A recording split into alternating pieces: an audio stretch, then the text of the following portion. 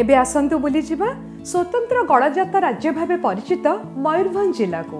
ଏଠାରେ ରହିଛି ବଢ଼େଇ ପାଣି ଦେବକୁଣ୍ଡ ଓ ଜୋରନ୍ଦା ପରି ଅନେକ ଛୋଟ ବଡ଼ ସୁନ୍ଦର ସୁନ୍ଦର ଜଳପ୍ରପାତ। ମୟୂରଭଞ୍ଜର ଶିମିଳିପାଳ ଜାତୀୟ ଉଦ୍ୟାନ ଭିତରେ ରହିଛି ଦୁଇ ଥାକିଆ ଜଳପ୍ରପାତ ବରେହି ପାଣି।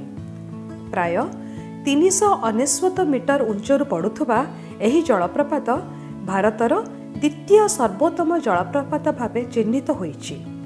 ଏଠାରେ ପହଞ୍ଚିବାକୁ ନିକଟତମ ରେଲୱେ ଷ୍ଟେସନ ହେଉଛି ବାରିପଦା।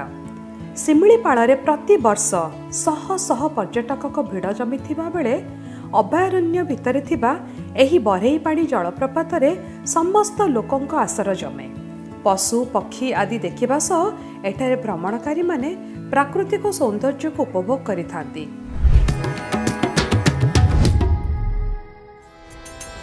ଦେବାଦେବୀଙ୍କ ସ୍ନାନକୁଣ୍ଡ ବା ଦେବକୁଣ୍ଡ ଜଳପ୍ରପାତ ମୟୂରଭଞ୍ଜର ଉଦଳା ନିକଟରେ ଏକ ମନୋହର ସ୍ଥାନରେ ଶୋଭା ପାଉଛି। କୁହାଯାଏ ସ୍ୱର୍ଗର ଦେବାଦେବୀମାନେ ମର୍ତ୍ତ୍ୟର ପ୍ରାକୃତିକ ସୌନ୍ଦର୍ଯ୍ୟରେ ବିମୋହିତ ହୋଇ ଏହି ଦେବକୁଣ୍ଡରେ ସ୍ନାନ କରିବା ପାଇଁ ଓହ୍ଲାଇ ଆସନ୍ତି। ଏଥିପାଇଁ ବୋଧହୁଏ ଏହାର ନାମ ରହିଛି ଦେବକୁଣ୍ଡ। ଏହା ସହ ଏହି କୁଣ୍ଡର ପାଣି ସ୍ପର୍ଶ କଲେ ସବୁ ପାପ କ୍ଷୟ ହୁଏ ବୋଲି ବିଶ୍ୱାସ ରହିଛି। ବିଶେଷ କରି ଶୀତ ଦିନେ ଏହି ସ୍ଥାନକୁ ପର୍ଯ୍ୟଟକମାନେ ଆସିବାକୁ ପସନ୍ଦ କରିଥାନ୍ତି। ବାରିପଦାରୁ ଷାଠିଏ କିଲୋମିଟର ଏବଂ ବାଲେଶ୍ୱରରୁ ପଞ୍ଚାଅଶୀ କିଲୋମିଟର ଦୂରତାରେ ଅବସ୍ଥିତ ଏହି ଦେବକୁଣ୍ଡ ଜଳପ୍ରପାତ। ସୁବିଧା ଅନୁସାରେ ଆପଣ ସ୍ଥାନ ଚୟନ କରିପାରି ଏଠାକୁ ଆସିପାରିବେ।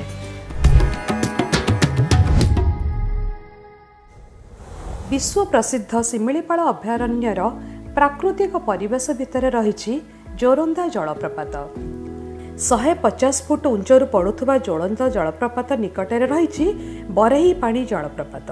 ତେଣୁ ଶିମିଳିପାଳ ବୁଲି ଆସୁଥିବା ପର୍ଯ୍ୟଟକମାନେ ଏସବୁ ଜଳପ୍ରପାତକୁ ଦେଖି ଆନନ୍ଦିତ ହୋଇଥାନ୍ତି।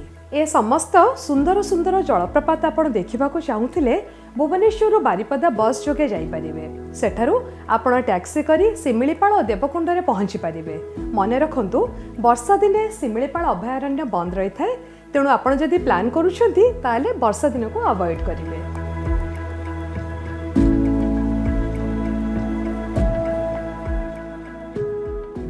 କୋରାପୁଟକୁ ଆମର ପ୍ରକୃତିର ରାଣୀ ବୋଲି କୁହାଯାଏ।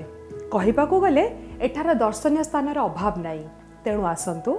ପ୍ରାକୃତିକ ସୌନ୍ଦର୍ଯ୍ୟର ଗନ୍ତାଘର ଡୁଡୁମା ଜଳପ୍ରପାତ ବୁଲିଯିବା ଏବଂ ତାହାର ମନୋରମ ପରିବେଶରେ କିଛି ସମୟ ହଜିଯିବା।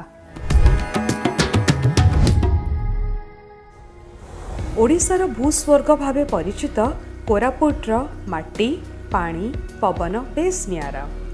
ଏଠାରେ ରହିଛି ଓଡ଼ିଶାର ଉଚ୍ଚତମ ଗିରିଶୃଙ୍ଗ ଦେଓମାଳି ଓ ଦୀର୍ଘତମ ଜଳପ୍ରପାତ ଡୁଡୁମା।